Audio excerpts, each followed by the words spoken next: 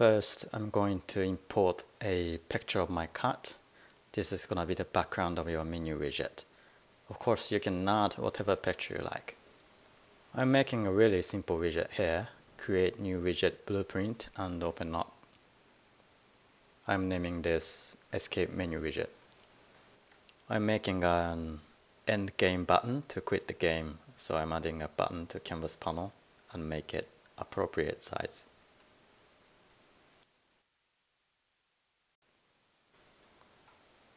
I'm also adding a text block and I want this to say end game.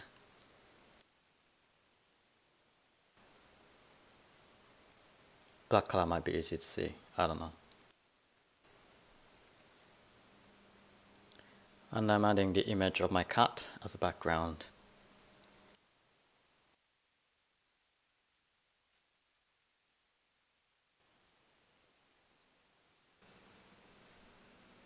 Choose the button and click on clicked.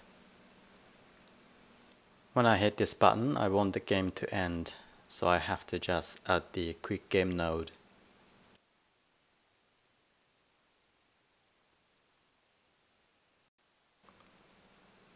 Now open the level blueprint. When I hit escape key, I want to open the escape menu that I just created. So I create widget and add to viewport. Quite simple show mouse cursor and set input only UI so while I'm opening the menu I don't get control of my character.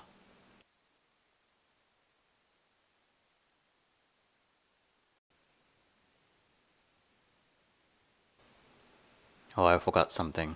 In widget blueprint, make sure that you check the is focusable.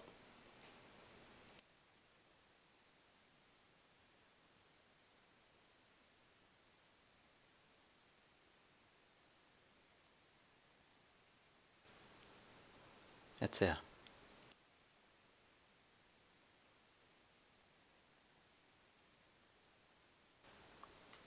Seems fine. Compile and save and let's see if it works properly. When I press escape, the menu shows I can end this game by hitting this button. Yay! It's working! Let's open the widget blueprint again.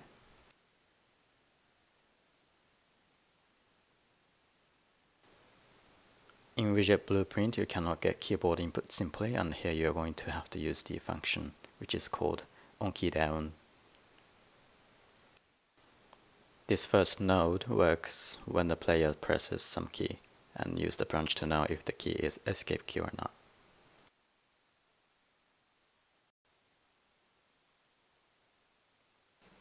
I'm making a custom event called close menu, so when the escape key is pressed, this widget kills itself. Just adding the remove from parent node and that's it. Go back to function tab.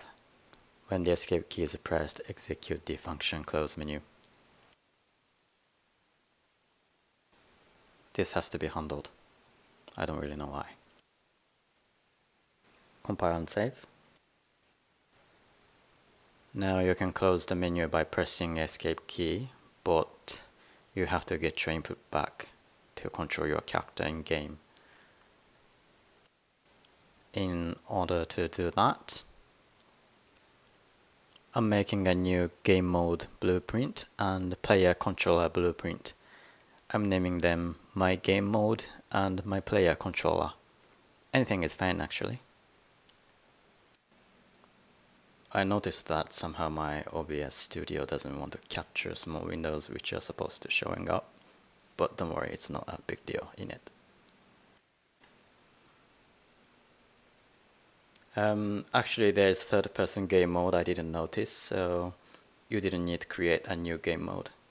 But don't delete the new player controller, we will need this. Sorry about that. In the world setting, set the game mode to a third person game mode and set my player controller to Open the player controller, event graph. I'm gonna write some codes to get input back to the player character. I'm making a custom event. I will call this back to game. Set input mode game only and I want to hide the mouse cursor when I close the menu so I show mouse cursor and, and check the checkbox. Really simple init. Compile and save. Open the widget blueprint again and from here call the event back to game in my player controller which is just I created. So cast to my player controller and the event. Now let's see if it works. Press escape, I can quit the game. Press escape and escape again. It closed but I can't move. Why isn't this working? Let's see where I f up.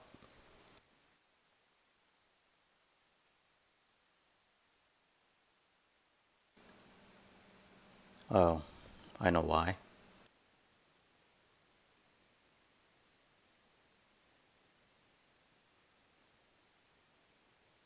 Now it should be working. Escape and escape again. Yeah!